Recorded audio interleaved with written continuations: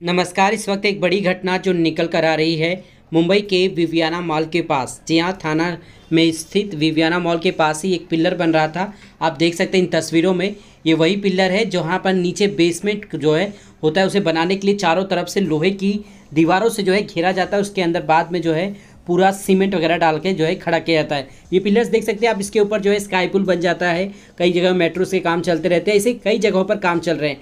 लेकिन आज जो दुर्घटना घटी, उसमें कई ज़्यादा लोगों को जो है यहाँ पर चोटें आई हैं, लेकिन बता दें, एक व्यक्ति की जान चली गई है। जी हाँ ये लोहे का प्लेट जो है काफ़ी भारी होता है वज़न में, जिसके गिरने की वजह से एक व्यक्ति इसकी चपेट में आ गया जो वहीं पर काम कर रहा था। छत्तीस वर्षीय यह युवक की जान चली गई। उसके बाद वहाँ पर काफ़ी ज़्यादा लोगों के बीच भय का माहौल बन गया।